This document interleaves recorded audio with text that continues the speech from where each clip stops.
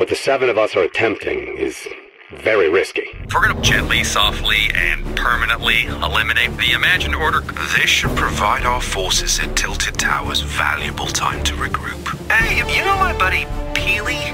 Peely has been reassigned to his previous mission, learning to drive. Uh, he. Wait, what? Why are we? Huh?